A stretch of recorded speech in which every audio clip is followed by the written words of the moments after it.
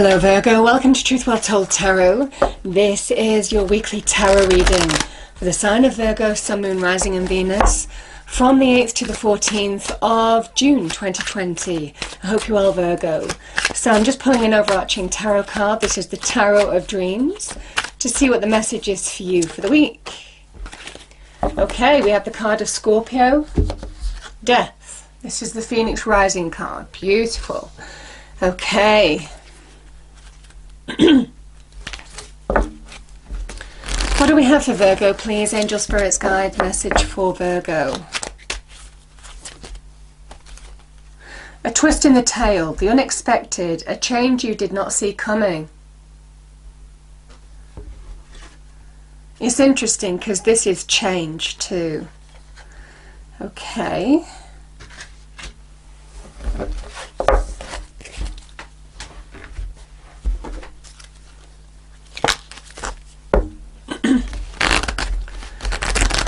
What do we have for Virgo, please? Angel Spirits Guides. Message for Virgo. I'll come back to those cards, Virgo. I'm just going to put the cards on the table. We have listened to your intuition and we have success. Whatever this change is, I do feel that there is success at the end of this journey, Virgo. But you're being guided here. Let's see what else we have. So I'm using the Radiant Wise, right, sorry, the Radiant Spirit, the Radiant Rider Waite. Try and get my words out. The Radiant Riser Rider Waite Spirit. Oh my goodness, you know, I'll give up. You kind of get what I'm saying. It's the Radiant Rider Waite. I feel it's a bit of a tongue twist.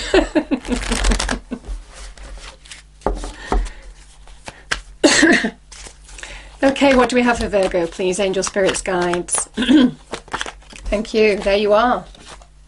There you are. This is you. First card is you. Second card is your challenge. Third card, advice from Spirit. Fourth card is your outcome. So, your challenge, Virgo, we have the Wheel of Fortune. the Seven of Pentacles is the advice from Spirit, and the Five of Cups is your outcome. What do we have for Virgo, please? Angel Spirits Guides, message for Virgo. So I'm going to clarify the cards, go deeper into the message, Virgo, with the Gilded Tarot deck here. What do we have for Virgo, please? Angel Spirits Guides, message for Virgo. Thank you. Ten of Swords.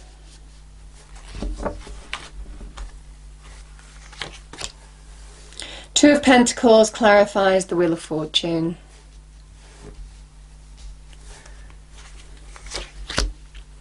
Four of Pentacles is clarifying the Seven of Pentacles. And the Five of Cups is clarified by the Star. Lovely. Knight of Swords is bottom of the deck. So, Virgo, we have change, unexpected change, a change you did not see coming. This can be linked to the death card, card which can be about deep transformational change here. Um, it is a card of Scorpio, it's a card of the Phoenix Rising. It is shedding an old skin, burning away what isn't needed anymore for you to rise in your own light. But in order to do that, there needs to be an acceptance of endings, drawing a line under something. I feel some of you may have had a shock, or some of you may have had some sudden news or some sudden change in your circumstances. You know, this can be about money and finance, it can be about relationships. And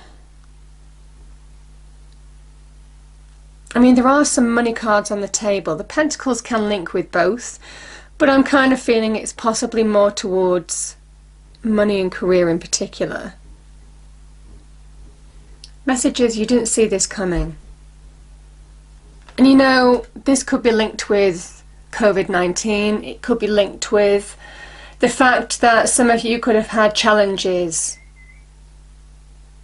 in your money and career maybe in terms of your job security, because of the the big impact that obviously that situation has had on a lot of people. This can be that sudden change. But I do see this big turning point here because we have success. You're being guided, listen to your intuition. It's a time of rebirth, it's a time of you rising in your light, letting go of what's gone.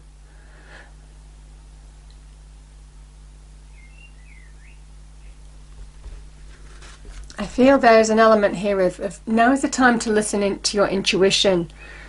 Your your intuition is your internal gut instinct. It's not something that comes over a few minutes. It's something that is immediate. And it's something that stays with you. It doesn't really waver. It doesn't change form. It doesn't change its opinion. It stays with you in the back of your mind almost, in your gut, in your instinct now. So this is absolutely about trusting your instinct in whatever this is. Because I do feel that you have the power to turn things around, to transform this situation for the better. There is a level of success here. so, Virgo, this is you. And the Ten of Swords could be the unexpected change that you might not have seen. Now, the Ten of Swords can be what you needed to heal from, and we have. See, it's interesting, these swords are going into somebody's back. They don't see it coming because the swords are going into somebody's back. So, this could have been something that could have really been difficult to get over. I will say this is equally as much in relationships as it could be in terms of money and career. Um, it has been difficult to move on from because this hurt so deep, this cut so deep. And yet, the hermit energy is introspection, finding answers from within, illumination in understanding how to move forward in your external environment. And that's been your biggest challenge to move on from whatever this Ten of Swords was. It is a completion card, it is an ending.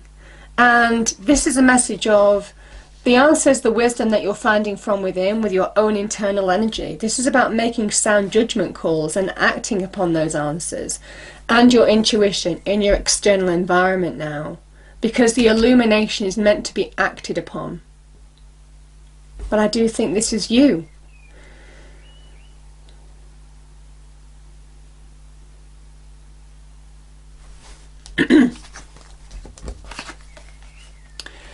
We have the Two of Pentacles and the Wheel of Fortune. So we have Capricorn and Jupiter. Um, you don't see how to move forward. I mean, some of you could have been destabilized in your finances, in your job, in your career.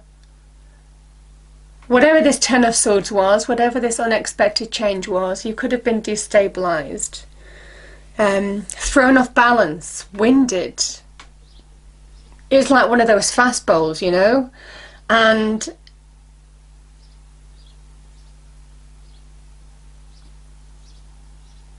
you don't see how to move on from it. You don't see the opportunity that's around you right now. This person's so focused on juggling what they have, that could be your finances, that could be, I mean, sometimes this is, you know, robbing Peter to pay Paul. And um, this can be just something has destabilized you. That could be linked to your money, your career in particular, could be to do with your home, could be to do with a solid relation or a relationship that you thought was solid, secure. Something has destabilized you here. And it's almost kind of like you don't see the way forward. You don't you don't see how to move on from it. And yet, the Wheel of Fortune is divine timing. It is a message to say there is always divine timing, divine orchestration around each and every one of us. Even though you don't see the whole picture, the divine does. And there is divine orchestration always going on. And it's like now is the time for you to embrace the good fortune. Now is the time for you to embrace some good luck in your life. But this person, I mean, it's Capricorn and Jupiter, they're not allowing the good luck, the good fortune to come in because they're so focused on what has destabilized them. They're so, so focused on the immediate issue and maybe on this Ten of Swords, on grappling with the instability in itself. They're, they're not seeing the positive energy that's around them now. This is expansion, growth, good luck, good fortune. I do feel that there is such opportunity here. This is very good in terms of money and career, in particular, the Wheel of Fortune.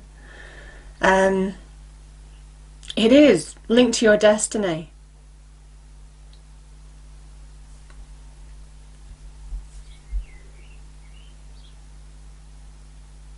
If some of you are seesawing, uh, wondering how to move forward, maybe having an idea or struggling to make a decision or choice here, the answer comes from within.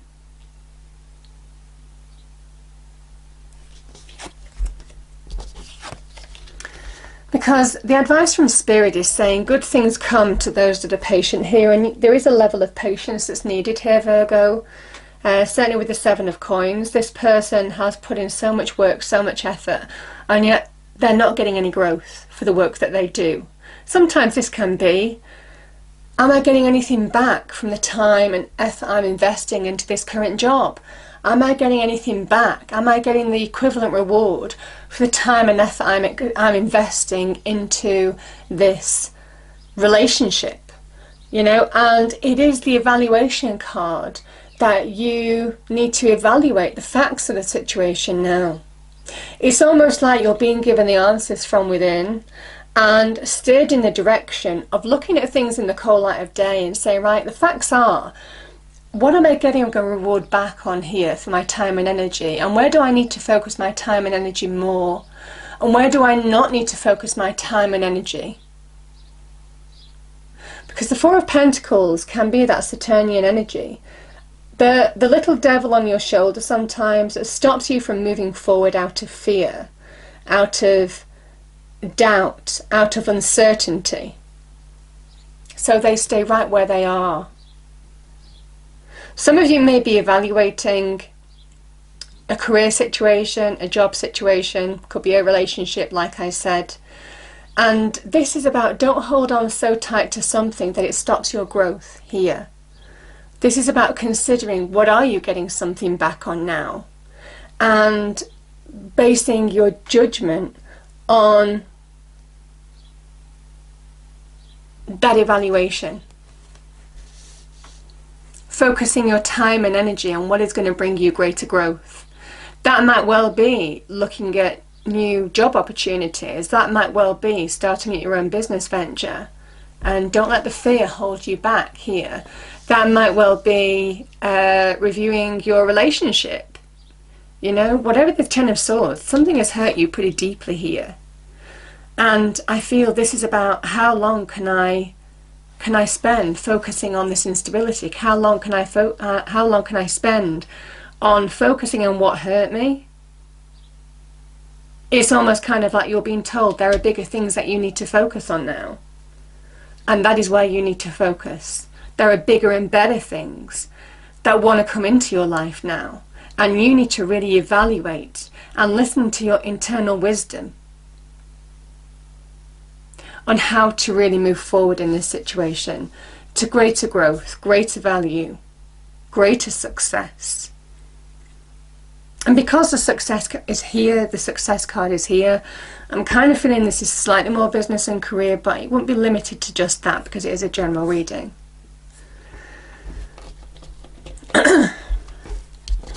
so we have an Aquarian card and the Five of Cups. So there could have been some. Uh, this can be loss that could have involved in Aquarius. We have Gemini as well. So for some of you that could mean something. But I also feel, Virgo, that the Five of Cups is all about focusing on what uplifts you, on the opportunity ahead is focusing on engaging with the present and the future now, having a new vision, a new hope, a new dream. And standing in your truth. I mean, the star is about our truth, our true selves, our true light. When we accept endings, when we burn away that which we don't need, we shed an old skin, our true light is revealed. And I certainly feel, Virgo, that it is your time to step into your truth, into your light now, find your vision, new hope, new dreams, and move on from whatever this loss was. This is a real visionary, forward moving card. It is also a card of divine blessings linked with this Wheel of Fortune. You are being blessed, you are being guided towards a new path here. This is focusing on a new hope, a new dream. This is about dare to dream now. Because there's a message here that you are being blessed, you are being guided. This is the divine wish fulfillment. It is time to focus on new hopes, new dreams, new wishes, and take action towards that. Find direction. Take action towards that now, and move on from looking back. This is a powerful turning point for some of you this week. Because as soon as you accept the inevitability of something ending, of what this change was, however unexpected it might have been, that's when you open up to what the universe really wants you to open up to. Everything it wants to bring into you now. You know, Capricorn and Jupiter, you have Jupiterian energies here. Um, sorry, Jupiter and Capricorn. You know, the Aquarian energy of now is the time to open up to new possibilities and new vision and make that journey from looking at the past to looking at the present and future. And I do feel this is absolutely getting back on your feet, having a thought, an idea, getting the clarity and the direction that you're making, the decision that you need to make now in how to move forward, move on from whatever this Ten of Swords was. I'm going to pull one more card of what's next, Virgo.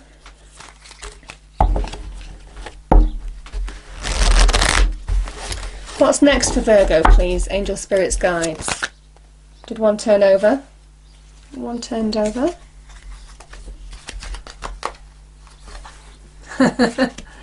A new beginning. We have the Ace of Coins as well. New opportunity. I mean, this could be linked with your money or finances. This can be focusing on what brings greater stability, security into your life. This is a forward movement card. And this is what the Wheel of Fortune is all about. Because as we have an ending, we have a new beginning here, Virgo.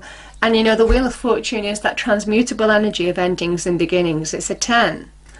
So maybe you feel stuck in the middle of that, you know, that, that seesawing energy. Maybe some of you are feeling stuck in between endings and beginnings as well.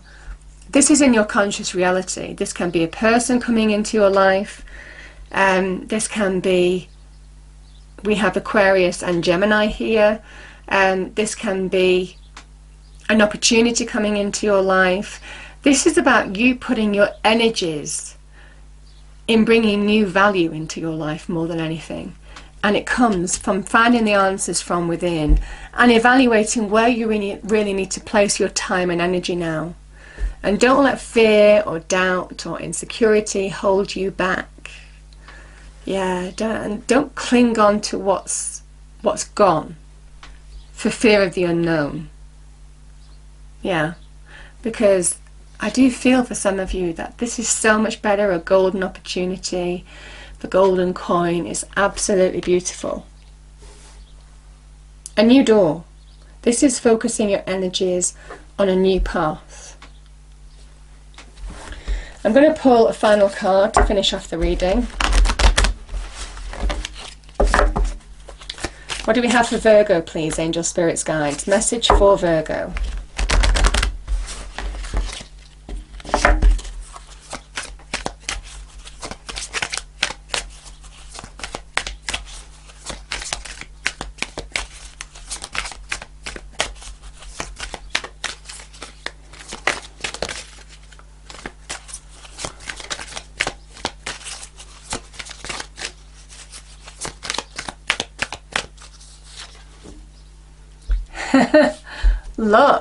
Have the ladybird.